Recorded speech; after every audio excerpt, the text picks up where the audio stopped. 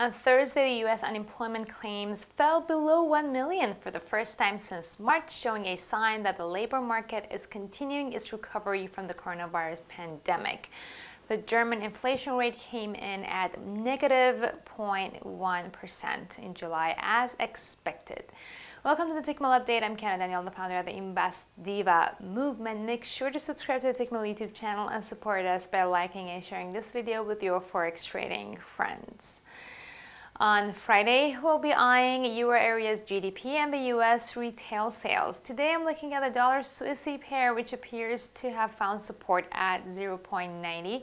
The pair remains below the Ichimoku cloud across the board, including the four hour chart. We could see another revisit of 0.90 in the short term, and if the support continues to hold, this could turn into a triple bottom bullish reversal chart pattern. Do you think the dollar Swissy is done with the bears and a new uptrend is on the horizon soon?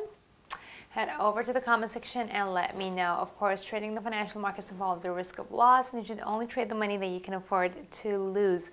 If you like this video, give it a thumbs up and subscribe to the Tickmill YouTube channel. I'll get back to you with more updates next week.